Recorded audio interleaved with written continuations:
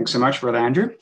Uh, yeah, pray then this way is the uh, the way it's it's given in the NASB. Um, so I, I, did change my topic. I I uh, had some really exciting uh, lessons that I learned about uh, about the Ark of the Covenant, uh, and and my goal has been for a couple of years now to to get more into it, and I I, I can't seem to really sink my teeth into it but one thing that I have been thinking about a lot uh, lately is prayer, and and prayer has come up a number of times. Uh, Brother Johnny spoke about it a couple of times. Uh, I've talked specifically about uh, our prayers related to Jesus, or specifically to Jesus, uh, lately as well. Um, and for today's class, I, I want to focus on maybe the, the content of our prayers. Um, you know, what what is what is in our prayers? What is the focus? Uh, of our prayers. But before I uh, get into uh, the class, I, Emmy and I were reflecting the other day how uh, how much we love the Cambridge Ecclesia. Uh, we're so so thankful for you. Uh, the Cambridge Ecclesia is such a positive ecclesia. There's so much positive work done. so many positive messages are being shared. last week's Bible class was really good, at Brother Tony uh, Mike's exhortation was was wonderful. It's just a just a very positive and, and encouraging um, exhortation. And the the evening session, uh, how to engage our youth, it was was great. Uh, we need to all be engaged, right, in in, in various degrees and various ways. Uh, and there's so many things happening in Cambridge, so many positive things, um, and there is so much different engagement from from different uh, age groups and from different families and individuals, and, and it really is wonderful. And so uh, we just want to express our thanks to you and encourage our ecclesia to to keep this up, to to be a strong uh, lampstand where we preach the word of God and we encourage it, encourage each other. So uh, thank you. Now, the Gospels all uh, tell us a story of Jesus, right? The, the Gospel is the good news and the glad tidings uh, of, of the kingdom of God, right? And that is, that is the, the message that Jesus shares. And so those four Gospels focus on the ministry of the Lord Jesus. And I think we all know that those aren't just kind of the four best collections they could find and, and they stuck those together or just for the sake of having a few different points of view uh, God has specifically left us with those to teach us specific lessons. And so um, there are similar accounts, uh, obviously, throughout the Gospels, and, and they're all told in slightly uh, different ways. And there's a reason for that. And it would be good for us to always ask questions well, why? Why is it said that way? Why is this left out? Why is there so much focus on this?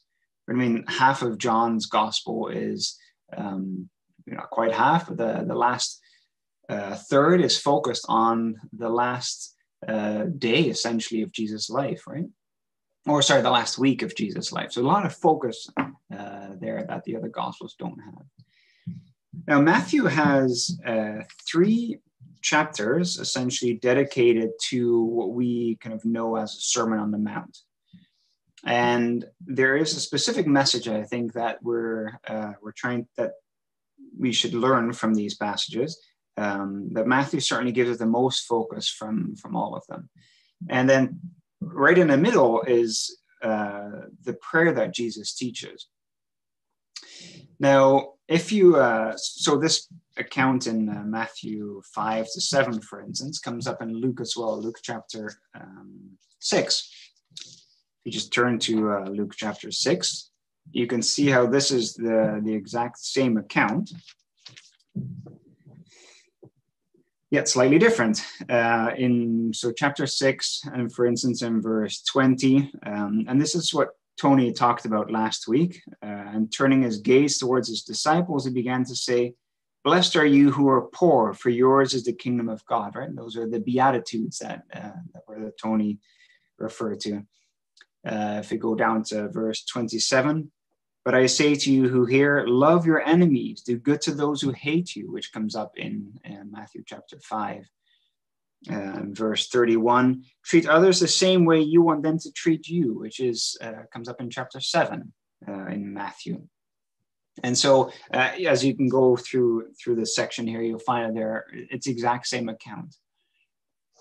Yet the prayer is is told very differently. If you turn to, um, to Luke chapter eleven, Luke chapter eleven, you see there that. Uh, in verse 1, it happened that while Jesus was praying in a certain place, after he had finished, one of his disciples said to him, Lord, teach us to pray just as John also taught his disciples. And then he, uh, he, he tells him that prayer. And so it's interesting that Luke places it somewhere totally different, although I, I do think this all happened on that same mountain. And I think there's uh, other things that happen that we don't read in Matthew. But the only reason I'm pointing that out is that it's laid out differently for us to pick up a theme, for us to see what is it that Matthew is trying to teach us by laying it out in this way, uh, and and why is that prayer a part of it? Um, so Matthew five to seven uh, gives an account of Jesus essentially being followed by a crowd. They're they're following him everywhere, uh, and uh, he is teaching them and teaching his disciples. And so um, the obviously the well there is a lesson here that uh, that ties into uh, to those people the contrast that matthew seems to make here is the difference between now and then so uh, now and the future now and the kingdom essentially now and and when uh, jesus will return to this earth the kingdom of heaven and in chapter four that we uh, we didn't read, but at the end of chapter four, we see kind of the what sets the scene here, right? How uh, how Jesus finds himself in that mountain where he is teaching from. And so uh, Matthew chapter four and verse twenty three. Jesus was going throughout all Galilee, teaching in their synagogues and proclaiming the gospel of the kingdom, so the good news of the kingdom of God, and healing every kind of disease and every kind of sickness among the people. Notice the focus there, right? So he's healing every kind of disease and every kind of sickness among the people. Verse 24 The news about him spread throughout all Syria, and they brought to him all who were ill, those suffering with various diseases and pains, demoniacs, epileptics, it's at least the way the NASB reads it, paralytics, and he healed them and large crowds followed him from Galilee and Decapolis and Jerusalem and Judea and beyond the Jordan. So people are following him everywhere, bringing anyone who had any kind of ailment in any different way, right? There's a lot of focus on the the healing and people bring to him anyone with any disease or any kind of uh, pain or anything and, and and he healed them and so I think the contrast that Jesus is is is laying here, I said, you know what? I'm you're just focusing on the healing. You're focusing on me resolving your immediate problem, which will make you happy, but it's only temporary. This isn't this isn't a blessing. This isn't I'm healing you because it's what I'm imagining Jesus saying. I'm healing, he's healing them because he feels compassion for them.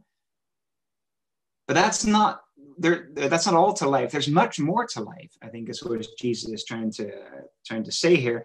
And so then he contrasts them uh, to the reason why they come to him and and what really matters in life. And so jesus uh, in chapter 5 and verse 1 when jesus saw the crowds he went up to the mountain and i'll suggest to you that he stayed there for the night and after he sat down, uh, so this is afterwards, he, he came down and sat down, and his disciples came to him. And this is where he, uh, I think it's at that point where he um, chose his disciples. He selected his disciples after spending that night in prayer. Then he opened his mouth and began to teach them. And so what he tells them there is uh, that what we know as the Beatitude blessed are those who are poor in spirit for theirs is the kingdom of heaven. Right? So it's a it's looking forward to the future. Blessed are those who mourn. You're actually blessed if you mourn for they shall be comforted. Blessed are the gentle for they shall inherit the earth. It's all future uh, looking. This shall happen to you. Blessed are those who hunger and thirst for righteousness for they shall be satisfied. Blessed are the merciful, for they shall receive mercy. Blessed are the pure in heart, for they shall see God. Blessed are the peacemakers, for they shall be called the sons of God. Blessed are those who have been persecuted for the sake of righteousness, for theirs is the kingdom of heaven, right? And so he is saying here that blessed are those who do have that suffering, who do have that those trials in their lives, for theirs is the kingdom of heaven. Blessed are you when people insult you and persecute you and falsely say all kinds of evil against you because of me. And the focus here in verse 12 rejoice and be glad, for your reward in heaven is great. For in the same way they uh, persecuted the prophets who were before you. And so Jesus is beginning to lay this contrast. They're focused on the healing, and Jesus saying, What will actually make you happy is if you not focus on this life, on solving this world's problems, but focusing on what is after this life. And so, as uh, an exercise of engagement, uh, I will ask you to, to unmute yourself and uh, you don't have to turn on your camera if you don't want to, but um, what other contrasts are there in, in this um, in this section, chapters five, six, and seven? So I'm looking for contrast essentially between now and then, between uh, something that we have now or can have now in this world and something that we can have in the future uh, as a contrast. So feel free to, um, my camera's on the left, that's why I'm looking left, uh, but feel free to unmute yourself and, uh, and there's a lot of contrast here between um, what we have now and what we can have in the future. I'm just seeing if anyone is unmuting themselves. So I'm looking for contrast. And you read a few in chapter six. There's a bunch in chapter five. There's some more in chapter seven as well. So contrast of something that we have now, that we can have now, and something that we can have in the future.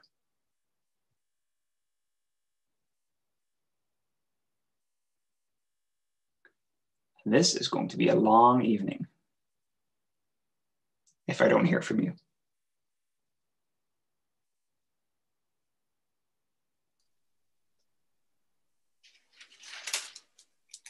Brother Brian?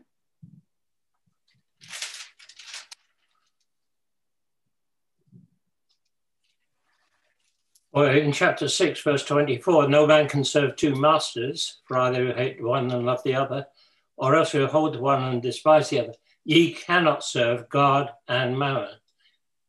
Is that mm-hmm. the contrast you're looking for?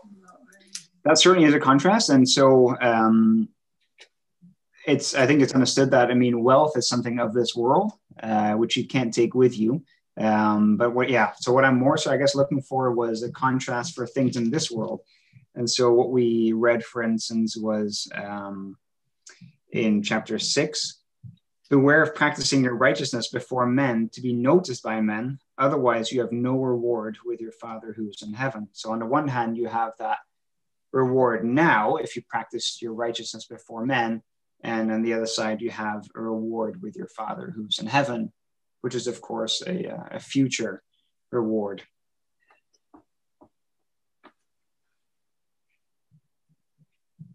I can point out a few more if uh, um, if there's no uh, if you can't think of any um, off the top of your head. But thank you for for suggesting that one. Um, so, for instance, we can look at uh, chapter, sorry, verse 27. Uh, right, you shall heard that it is said, You shall not commit adultery. But I say to you that everyone who looks at a woman with lust for her has already committed adultery in his heart. If your right eye makes you stumble, tear it out and throw it from you, for it is better that you, uh, for you to lose one of the parts of your body than for your whole body to be thrown into hell, right? And so um, it is better for you to go without things in this life so that in uh, future life sorry, in, uh, in the future, you can inherit uh, the kingdom as opposed to staying in the grave. Uh, for instance, in verse 39, but I say to you, do not resist an evil person, but whoever slaps you on your right cheek, turn the other also to him. Uh, if anyone wants to sue you and take your shirt, let him have your coat also. Whoever forces you to go one mile, go with him two. Give him also uh, who asks of you and do not turn away from him who wants to borrow from you.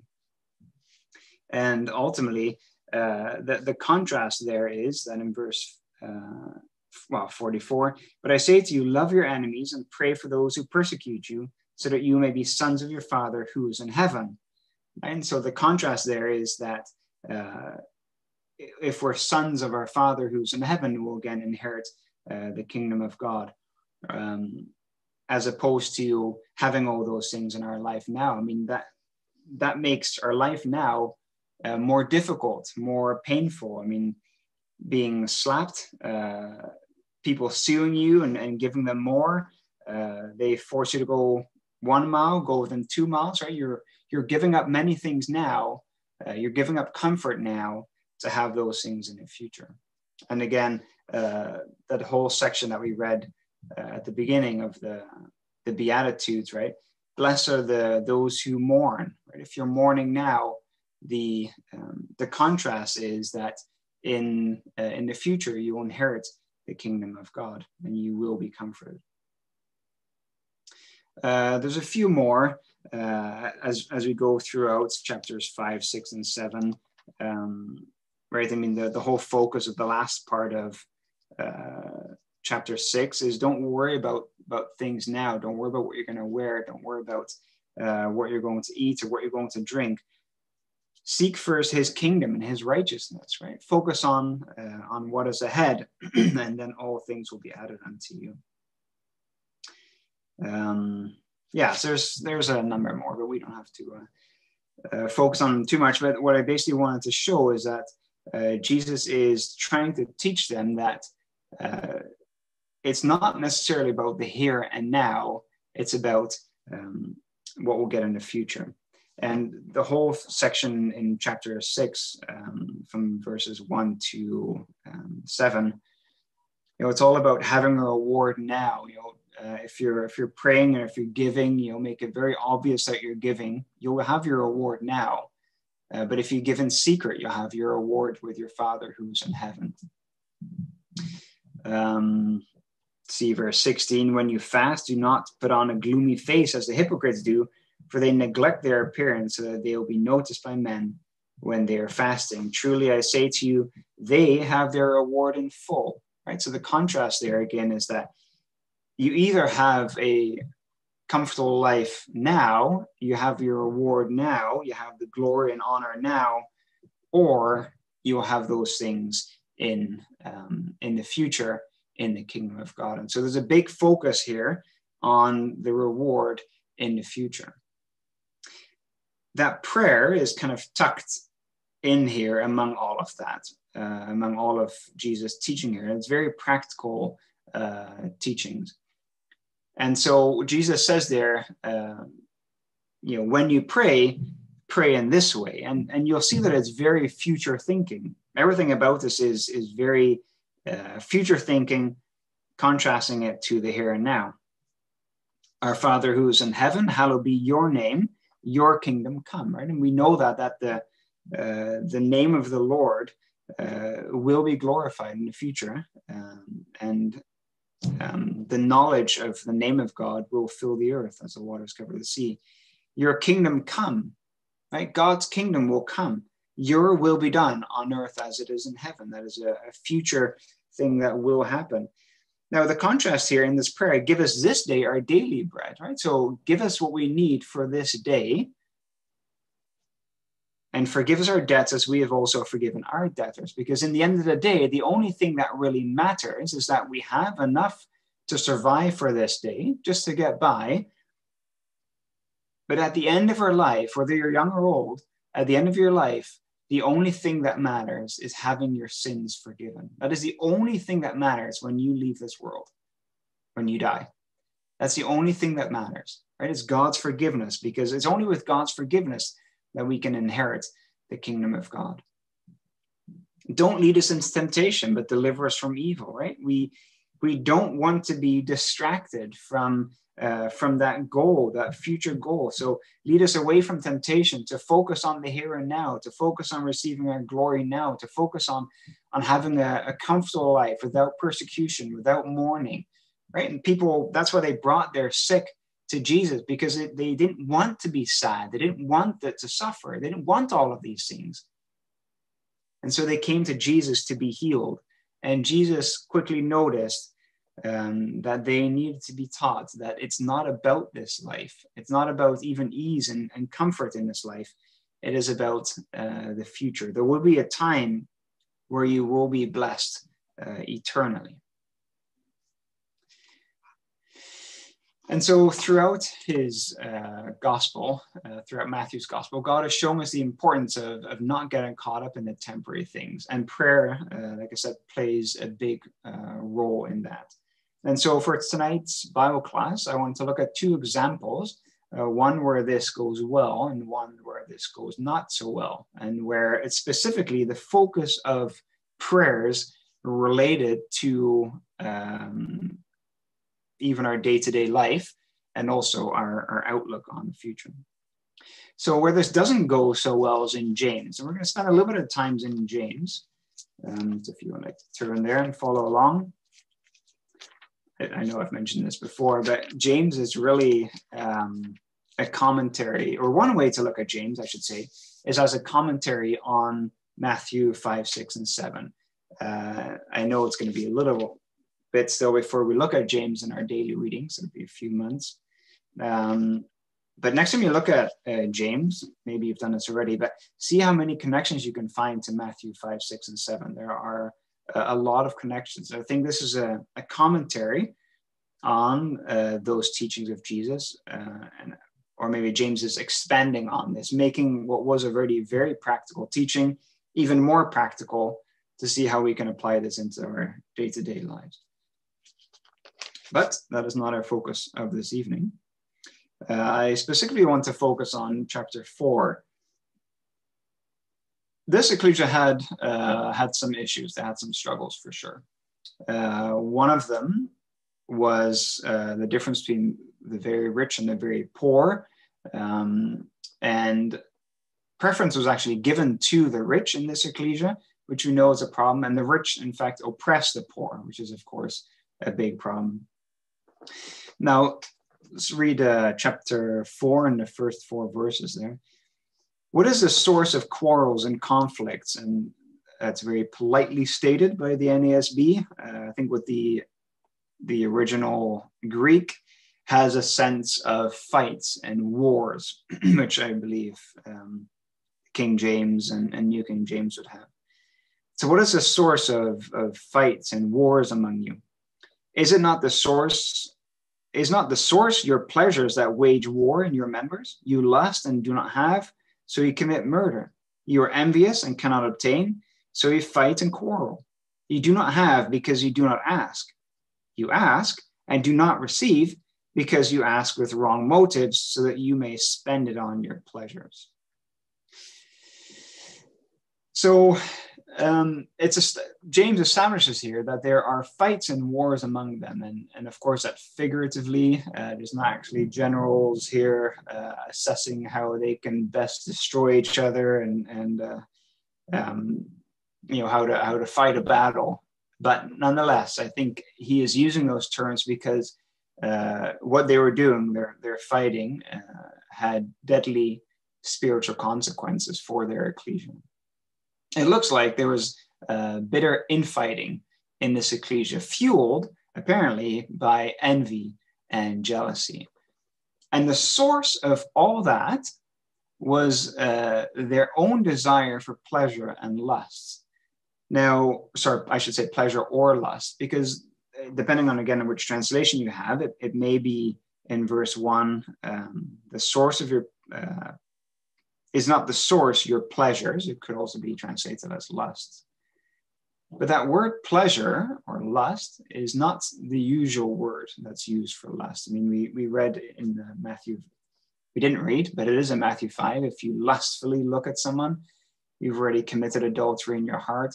Um, a few, uh, well, two books further, I suppose, uh, two or three. Uh, in, in John, it talks about um, the lust of the eyes and the lust of the flesh. Um, that's not the same word. And so I think there's two types of lust. There is the lust of the eyes and the lust of the flesh.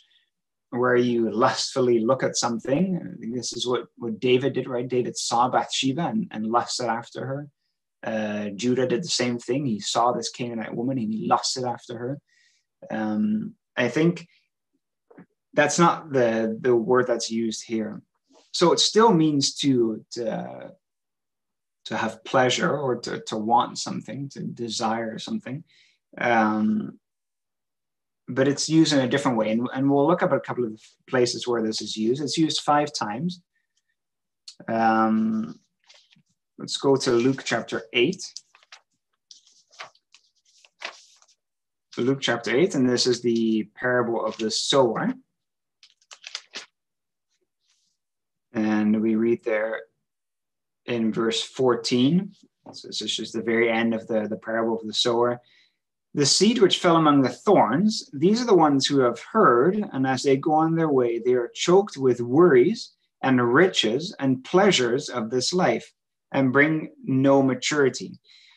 Uh, sorry, bring no fruit to maturity. And, and, and so I think it's grouped in there with a few different words worries, riches, and pleasures of this life. So it's more focused on on the you know the worries and riches of of this life and and uh, and the comfort and the ease. Not so much the uh, like the the physical lusting like seeing something ah i want that thing that i'm looking at right?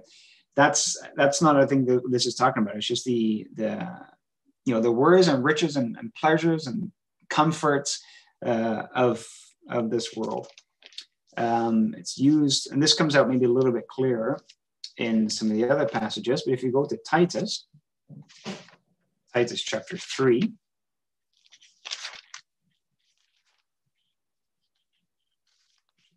course, just before Philemon, which is just before Hebrews, Titus chapter 3. For some reason, I always had a hard time finding Titus when I was younger. So, Titus chapter 3, when I say when I was younger, I mean like last year. Uh, Titus chapter 3 and verse 3 he says, For we also once were foolish ourselves, disobedient, deceived, enslaved to various lusts and pleasures, right? And so I think it's shown here that those are two different things. We're enslaved to various lusts and pleasures, spending our life in malice and envy, uh, hateful, hating one another. And so uh, if we turn to James again, it's mentioned in uh, Second Peter, I think, as well, and those are the only places that that word is mentioned. But if you go, if you read the context here, um, you'll see that it, it, doesn't actually make sense to look at this in the way of um, of lusting after you know with your you you see it with your eyes and you just want it. You can't stop thinking about it. You want whatever it is that you just saw. And you see this in verse 3 you ask and do not receive because you ask with wrong motives so that you may spend it on your pleasures. If that was the word lust that wouldn't make any sense. Like nobody is going to pray to god to give you something that you lust after that you know is wrong right no one is going to say god please give me more money because i want to party I, God, please give me more money. I need a speedboat. Right? That's that's not. It doesn't make sense. And and this is not how how they would pray. They wouldn't say, you know, I I want to uh, I want to give in to the lusts that I have, and therefore I want a fancy car because I know girls like fancy cars. And so it doesn't make sense. What does make sense here is if you look at the context of this ecclesia.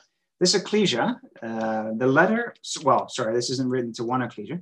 Uh, this letter was written to uh, most likely to the Jews who are persecuted. If you go to chapter 1 and verse 1, to the 12 tribes, this is clearly speaking to Jews, to the 12 tribes, tribes who are dispersed abroad, greetings. Consider it all joy, my brethren, when you encounter various trials. And so we have a group of people who are scattered throughout the whole uh, you know, known world, the Roman Empire. They're scattered through the earth. They are suffering. They have trials. Uh, they have been persecuted. Right? Life is difficult for them. Life is rough, and all they want is for those things just to be taken away.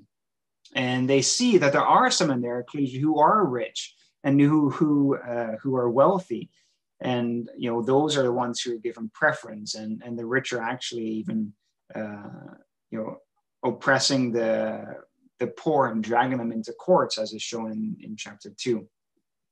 And so all they want is just the the normal good things of this life to just be able to lead a, a, a happy life free of persecution free of problems free of of of just of poverty right? And and that makes a lot more sense because you can actually honestly go to god and ask for that. And we do that too. We ask for god for our troubles to be removed. We ask for god for our suffering to be removed and that is uh, what I think this lusting is speaking after this this pleasure is for us to just have a comfortable life, to have a reasonable amount of riches, to be able to enjoy my life without constantly being persecuted. And this is what the problem was with the people who came to Jesus, right? All they wanted was just for their immediate problems to be resolved. They knew he could heal, and they went to him to be healed. They just wanted their sick to be healed and their immediate problems to be removed because that would make them happy. And it, I want the same. I want that too. I don't like to be sad. I don't like to suffer. I don't want that. And so I will regularly ask for God for those things to be taken away, for those things to be removed. Paul did the same thing. Paul had this thorn in the flesh and he just wanted it to be gone. And he asked God, he asked Jesus for it to be removed. It's normal for us to feel that way. The problem is, is that can start to take over. And that is what Jesus noticed, is that they weren't coming to him for be, to be taught anymore, which they were at some point. I, I don't doubt that. But now the desire for their immediate problems be resolved has taken over, and we start to love our life, to be friends with our life in this world, as James uh, goes on to say it later on that starts to take over and our focus is shifting from what is in the future to what is now. You'll see this in uh, in verse 4 you adulteresses do you know what uh, do you not know that friendship with the world is hostility towards god? I'll ask you another question. Uh, many transcripts or manuscripts uh, only have the word adulteresses there the female version, uh, I suppose. Um, why do you think that is? Why the why do you think the focus is on adulteresses? Why female and not the, the male version? I, I realize that some translations have adulterers and adulteresses, uh, but most manuscripts and translations only have adulteresses. Any thoughts on, on why that could be? Like take a drink of water. Why would the focus be on adulteresses?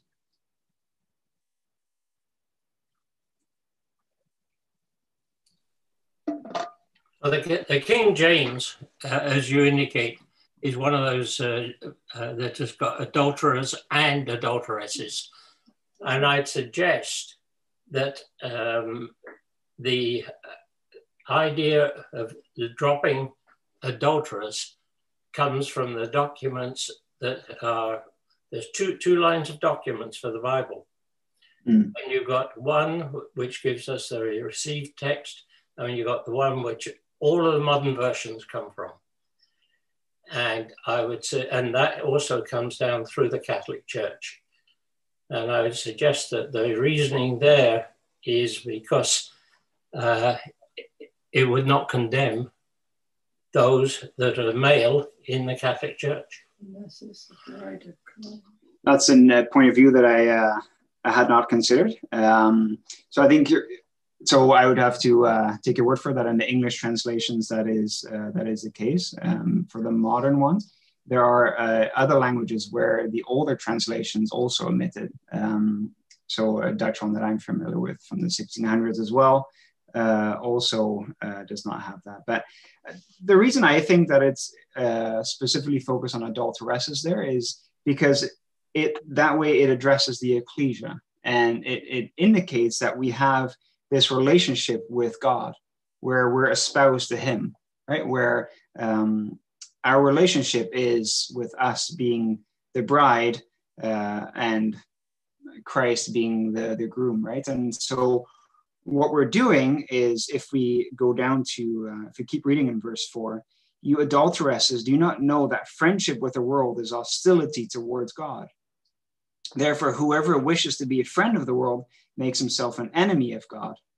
Or do you think that the scripture speaks to no purpose? He jealously desires a spirit which he had made to dwell in us. Right? And so what God is saying is that uh, if our if our desire, our pleasures are for our problems to be removed in this world and to have a comfortable life now, uh, and and our love becomes of this world, we are essentially going one way where God wants us to go another way, and and and he he calls it hostility towards uh, towards God, and we become uh, an enemy of God if we make ourselves a friend of the world. And so, if we uh, if our focus of our prayers is to have the pleasures of this life, uh, and and I I truly believe that uh, this is talking about just the comfort of life, the basic uh, kind of necessities, the you know free of persecution, free of of fear, um, and you know a, reasonable, comfortable lifestyle if that is what we're looking for, if that is what our focus is, and that is what we want, our, our view is too temporary uh, and it's too narrowly focused on, on what is now, and we forget about the future. And eventually, us and God are going into two different directions. And so then in verse 7, he says, Submit therefore to God, resist the devil, and he will flee from you. Very similar words to, um, to the Lord's Prayer where he says, Lead us away, lead us not in temptation, but deliver us from the evil one. Draw near to God, and he will draw near to you. So uh, instead of drawing near to this world, draw near to God. Cleanse your hands, you sinners, and purify your hearts, you double minded. Be miserable and mourn and weep. Again, very similar words to uh, Matthew chapter 5. Let your laughter be turned into mourning and your joy to gloom. Those are those are very gloomy words and and that actually does not sound like the kind of life i want right i don't want my life i don't want to be miserable and so i also don't think that god wants us to be miserable i don't think god actually wants us to, to just have a complete miserable life to go around mourning and weeping only and where there is no laughter in our lives or where it's just uh, mourning and our joy is just in gloom. I don't think that's what God actually wants. And so what I think he is doing here is saying that that contrast that their life is so focused on uh, you know riches and and because they see uh, others who have things that they don't have and they become jealous. Uh, they are envious, as James says here in the first few verses. And and uh, I think what James is saying is that it's better for you to be miserable and to be uh, to be to mourn and to weep rather than what you're doing now because what you're doing now is only leading to a love of this world a loving of your comfortable life without persecution without um, without trials without tribulation i think that is what uh, what james is focusing on here Instead, what James does is he focuses them to endure their trials, to endure their trials with patience. Chapter 5 and verse 7. Therefore, be patient, brethren, until the coming of the Lord. The farmer waits for the precious produce of the soil, being impatient about it until it gets the early and latter rains. You too be patient. Strengthen your hearts, for the coming of the Lord is near, right? the, the, Lord, the coming of the Lord is near. And so we're being uh, instructed and encouraged here to focus on that. Focus on it.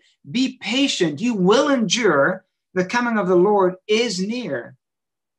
Do not complain, brethren, against one another, so that you yourselves may not be judged. Behold, the judge is standing right at the door. As an example, brethren, of suffering and patience, take the prophets who spoke in the name of the Lord This is very interesting. In verse 11, we count those blessed who endured. That is what it means to be blessed, to endure your trials, to hold on to the end, because that is when you receive the blessings. That is when you receive, where you inherit eternal life, a life of true happiness, a life of true blessedness. And so, for your trials to be taken away is not a blessing. For you to endure your trials is a blessing. If someone is not healed, it doesn't mean that that person is not blessed, and vice versa. Uh, just because you're healed, that's not necessarily a blessing from God because it's too temporal. The blessings are the kingdom of, or is the kingdom of heaven, and all those things related to it. And those who endure till the end are blessed because they will inherit. Now we're going to very quickly look at the opposite, and I'll uh, share my my one slide with you, um, because all these aspects um, that Jesus t- t- tells us to pray about, and I've talked about this before too, but I just find it very uh, uh, very helpful and very informative and in, insightful about how important uh, the understanding of this prayer is. uh, so if you look in, if we're back in Matthew 6, I'll just quickly share my screen. So if you compare uh, Matthew 6 to the last day of Jesus' life, right, where he spends uh, time with his disciples, uh, where he's arrested, where he's crucified, all of those things that he mentions where he says, pray then in this way, they also come up in the last day of his life in the form of a prayer. Uh, and we're not going to go through all of them, um, but our Father who's in heaven, hallowed be your name. That is all over John 17, right? He addresses his Father. Uh, he he mentions to his Father in prayer that he came to manifest the name of God. Uh, we can turn to Luke just to look up a few of these other ones. Uh, your kingdom come, your will be done on earth as it is in heaven. We're very familiar with these verses uh, in Luke chapter 22 and verse 42, which is 41 for context. He withdrew from them about a stone's throw and he knelt down and prayed, saying, Father, if you are willing, remove this cup from me, yet not my will, but yours be done. Uh, give us this day our daily bread. And if you turn to verse 19, we read this very regularly, uh, verse 19 of uh, chapter 22 still. And when he had taken some bread and had given thanks, he broke it and gave it to them, saying, uh, This is my body, which is given for you. Do this in remembrance of me. Right? And so there's a focus on uh, on that bread.